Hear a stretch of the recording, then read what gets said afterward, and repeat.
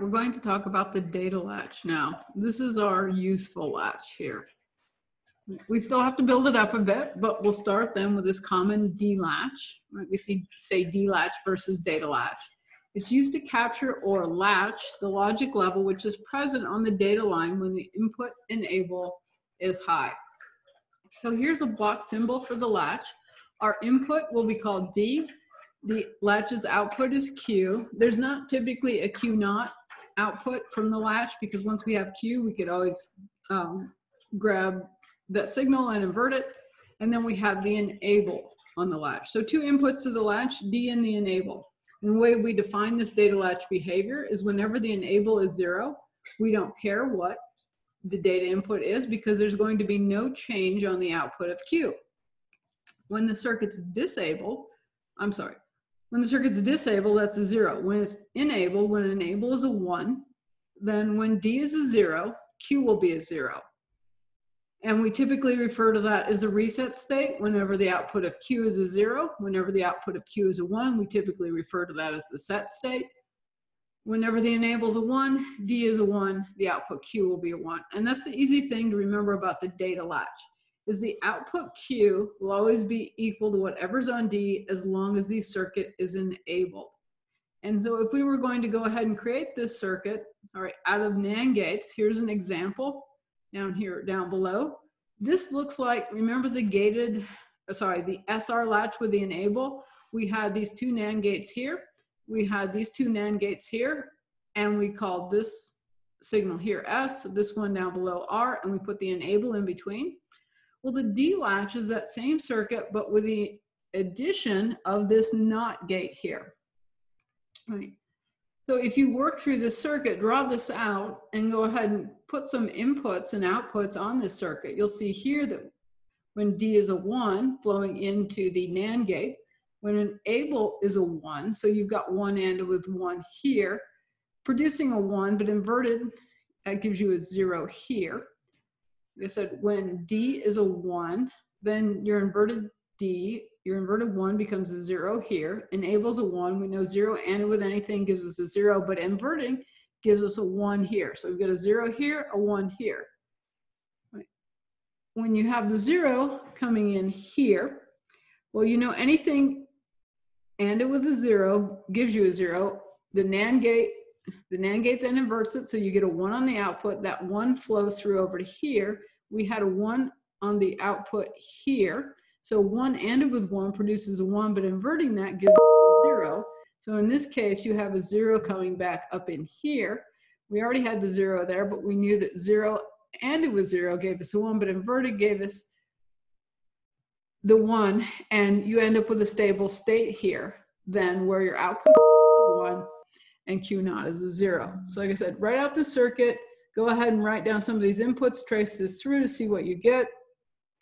But remember with the D latch, the D latch is really easy. Whenever the circuit's enabled, whatever's sitting on the input D flows through to the output Q. If we then write this in terms of a state table, so this was more of a functional or behavioral table, right? We're specifying the behavior of the circuit. But now if we want to put this in the form of a state table, we then list all of our present state inputs. So enable at time t, remember time t is the present state, d at time t, q at time t. Our output of the state table then is the next state, q at time t plus delta t. So that's the next state. We said then here, whenever enables a zero, and if you look, we have three inputs to this. So there are eight different unique combinations. So we have all eight of those binary combinations sitting here on the input. But when ever enables a zero, we said there's no change. There's no change in the output Q. So if Q is a zero, Q next will be a zero. When it enables a zero, if Q in the present is a one, Q in the next state will be a one. Enables a zero, Q in the present state is a zero, Q in the next state is a zero. No change. Whenever enables a zero, Q in the present state's a one, Q in the next state is a one. So this is what this is saying here. Whenever enables a zero, that's a no change. Q in the next state is equal to whatever Q in the present state is. Doesn't matter what's sitting there on D. But now the other behavior we defined is whenever the circuit's enabled, right? So whenever the enable signal is a level of one, then, and we call, right? We call these levels, level of zero, level of one, so a binary one. Well, then we said that Q in the next state has to be equal to whatever is sitting there on D. So circuit's enabled here, D is a zero, Q in the next state is a zero. Circuit's enabled, D here is a zero, Q in the next state is a zero. Doesn't matter what Q in the present state is. Circuit enabled, D in the present state is a one, Q in the next state is a one. Circuit enabled, D in the present state's a one, Q in the next state's a one. And we're going to see that that's basically our characteristic equation is whenever the circuit's enabled, Q in the next state is equal to whatever D is in the present state. So to summarize it, when it ever enables a zero, there's no change. The value of Q holds. When the circuit's enabled, whatever is sitting there, the value of D is passed through to the output Q in the next state. We then take that and we can derive the characteristic equation. So here are three inputs. We treat then Q the, the next state as the output. We form then a truth table. Then we map these outputs then to these inputs on the truth table and we generate the next state equation. Here I solve for the one. So we said that Q in the next state is equal to the inverse of enable and with Q in the present or with enable and with D. Right. Like I said, we start dropping these T plus delta T's and we write things as Q plus. Q in the next state is equal to enable, not, and it with Q. Well, here's enable not, right? When enable is a zero, Q is a one. So that's where that term came from. And that's ORed with, well, here enable is a one and D is a one. So enable and it with D. And that matches what we said in words because we said when enable is a zero, whatever the present state is sitting on Q becomes the next state. Or when enables a one, whatever's sitting there on D flows through to the next state. And so that's how we develop then the characteristic equation of the gated D latch. And the gated D latch is sometimes referred to as a transparent latch as well, uh, simply because they say it's transparent, whatever's sitting there on D flows through to Q. So sometimes you'll just hear this referred to as the transparent latch. Uh, D latch with the enable is also called a gated latch. So we usually call it a gated D latch. Right?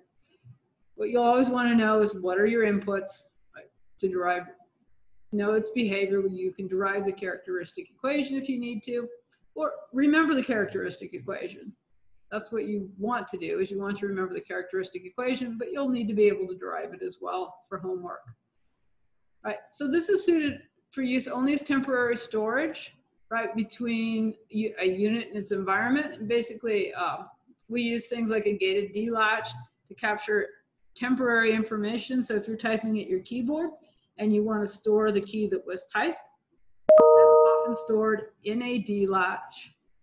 And then it's that information then at some point is pulled out of that D-latch memory and sent into another circuit.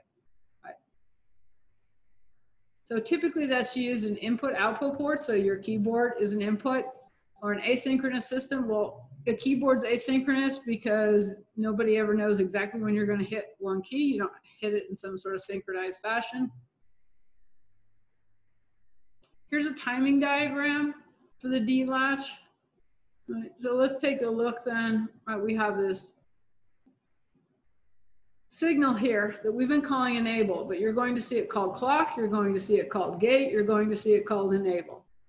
Clock and enable are two of the better terms to use with this, right?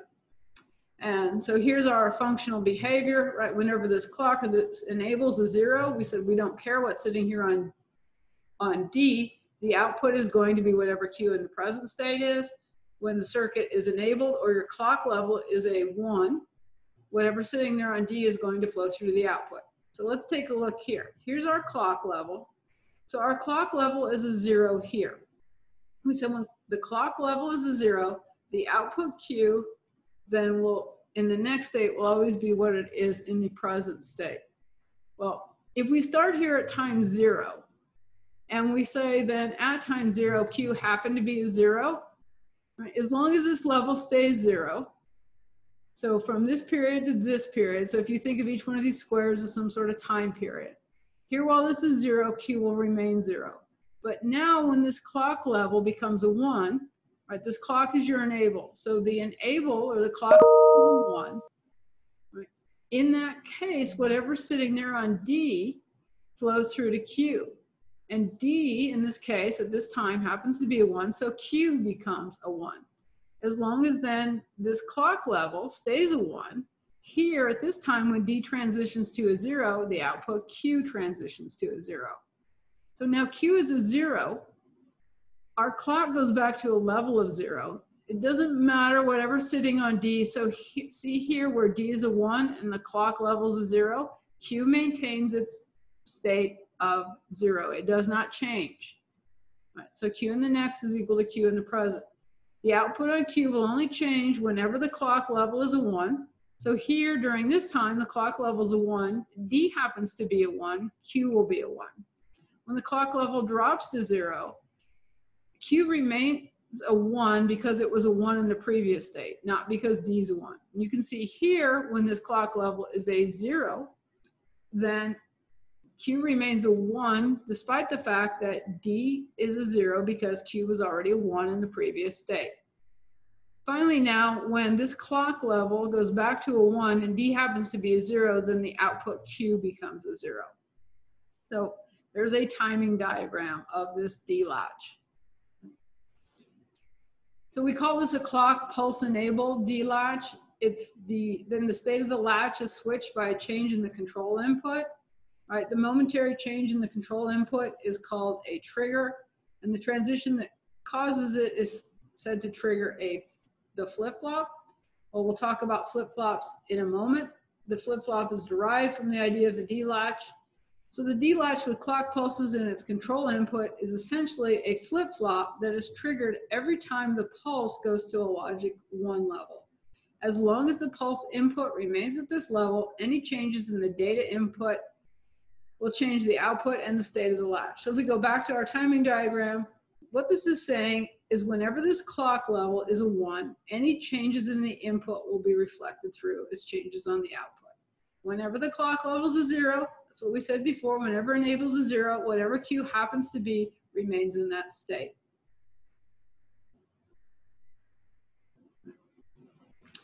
So latches with common clocks are not desirable in this example, if we then put two latches together and we have the enable, so this clock signal is tied to the enable.